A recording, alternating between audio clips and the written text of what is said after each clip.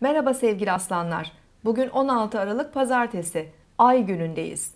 Bugün dış dünyaya odaklanmanız gerekebilir. Çevrenizdeki kişilerle katılacağınız bazı faaliyetler sizi oldukça memnun edecek ve dinlendirecektir. Eğer kalbiniz boşsa hoşlanacağınız bir kişiyle de tanışmanız mümkün görünüyor. Burcunuzu dinlediniz. Bugün 16 Aralık Pazartesi. Haftaya Ay İkizler Burcu'nda başlıyor. İkizler Burcu'ndaki Ay dışa dönük, hareketli, meraklı ve değişken enerjiler verebilir. Gün içerisinde çok fazla yazılı, sözlü iletişim kurabiliriz, kısa seyahatler yapabiliriz. Bugün konuşmalarımız ve iletişimlerimiz biraz yüzeysel kalabilir, derine inmekte zorlanabiliriz.